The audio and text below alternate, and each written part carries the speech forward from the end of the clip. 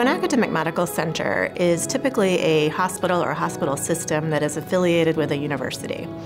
Specialists and generalists work together to find the optimal patient treatments based upon a hard look at the medical evidence.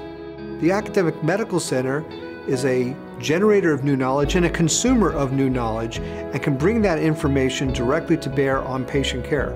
We're not only teaching the next generation of students, we're also the leaders in the field uh, by being here, but we're also trying to simultaneously improve the outcomes and the lives of all patients across the country and perhaps even across the globe.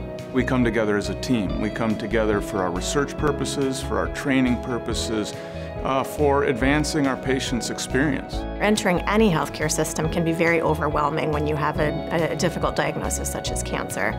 The nurse navigator or patient navigator is there to help guide a patient through that experience from start to finish. The nurse navigators are really what I consider to be the, the grout between the tiles. Um, they really not only hold everything together, but they're seamless. They really help us move from, uh, from, from one stepping stone to the next for the patient.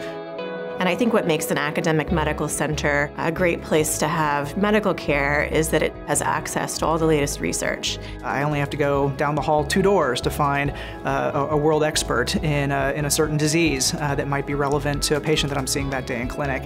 That's a little hard to do in some other, in some other venues. We're not just trying to do what we know works, we're trying to do it even better. So pretty much everything we're doing is uh, is challenging that standard of care. You know, cancer therapies are very are very personal. They have to be very uh, precise. You need it to be the right treatment the first time. By having access to all the resources that we have, access to all the experts and expertise that we have, as well as our own individual uh, expertise, it gives us a, a, really an opportunity to amplify the knowledge that we have right here at our center. The care that patients receive at the University of Florida Health Cancer Center is thought thoughtful, it's compassionate, it's caring, and it's holistic. It's tried to take the whole patient situation into account. Meeting that person and finding out what it is that matters for them and trying to personalize things in their experience here for them.